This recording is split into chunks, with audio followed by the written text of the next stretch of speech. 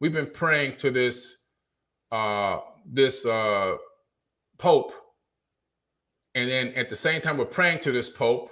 This image is burnt into our literally burnt into our brain to the point where when you hear jesus you instantly see that face. So we're we're, we're we, this this guy is taking up real estate in all of the brains of 8 billion people on planet earth. And at the same time that you see that face you're calling a name that has nothing to do with that face it's got a tie back to an ancient Anunnaki being named Enlil that was a brutal, enslaving murderer on this planet and put in the systems in place that we still have today, including the police system, the bicameral Congress. All that was started by Enlil. Even he he even started the way that uh, city grids are laid out. He said to his sister, in one of the tablets to Ninmah. He said to Ninmah, This plan I have on this planet is to last for all time. This guy didn't say this should last for a couple hundred years. This guy said, My plan for what I'm going to do to this planet is going to last for all time. That's etched in stone. And guess what, guys? The evidence of that is still all around us because no matter what neighborhood I go to, there's a thousand churches in every neighborhood. And the more brutal the neighborhood is, if I go to my, I went to my old neighborhood actually about three months ago, took Elizabeth down there. There were, I think it was 32 churches in a eight square mile area. And 32 in that area, in that neighborhood, people are getting shot and killed, stabbed, and drugged out and dying from overdoses and houses broken into. The crime is through the roof every single day. My elementary school has a 20 foot barbed wire fence around it, and there's a church right around the next corner. You see what I'm saying? What's going on here? You need to understand that these images that they put out, this programming that they put out, is fake.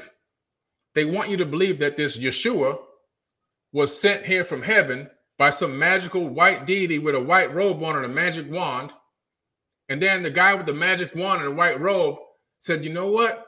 These people, I know I'm omnipotent and I'm omniscient and I know everything, but I just can't seem to figure out how to make these people behave. So what I'll do is I'll sacrifice, I'll kill my own son, and that'll teach them. Come on, man. For real? That that what we that's what that's what we and then we read and then we're in school we're told that the Greeks have mythology and then people go to Bible study the same night. I, come on, for real? Are we are we being for real here? Come on, guys. We got to stop. we got to stop, man. We got to stop this foolishness. At some point, we got to sit down and say something ain't really adding up here. Um, yeah, this is contradicting this. This is contradicting that. Uh, God knows everything, but yet He didn't know that Adam and Eve became conscious God knows everything, but at the same time, he couldn't stop people from being bad. He couldn't just come down and say, Hey guys, I have a better way to teach you something. Let me show you something a little bit different. He couldn't just figure it out. So he said, You know what? I got something. I'll just torture my own kid, my own kid, and then that'll teach him. Listen, in the Sinai Bible, which predates the King James Bible, Yeshua was never sacrificed. Let me say that again. In the Sinai Bible, which predates the King James Bible by almost a thousand years, Yeshua was never sacrificed. Not only that, there's close to 10,000 mistranslations between the two Bibles.